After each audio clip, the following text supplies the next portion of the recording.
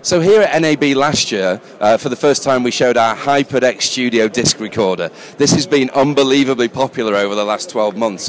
What the HyperDeck Studio does is it gives you dual SSD slots, so you get continuous recording.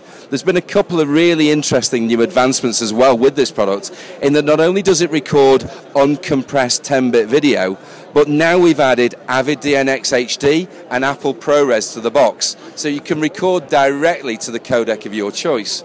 This particular model, whilst it may look the same at the front, is brand new. This is the new HyperDeck Studio Pro.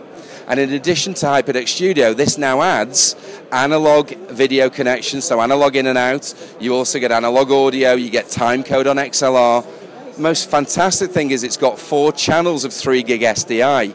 So this is prepared for high bandwidth video formats. Um, so one of the things that we have here is the ability to play back 4K straight out of this box. And that's an Apple ProRes file playing back in 4K straight from solid state disk.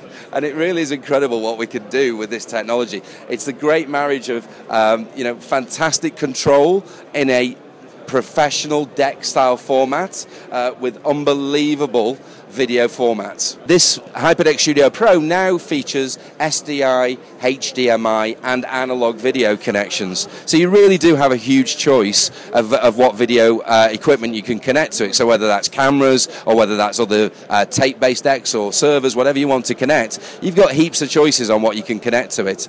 The benefit of having the four channels of 3 gig SDI is that moving forward, uh, we're going to be able to do further high bandwidth video formats. And this is a deck that's got the processing capability equipped for the future.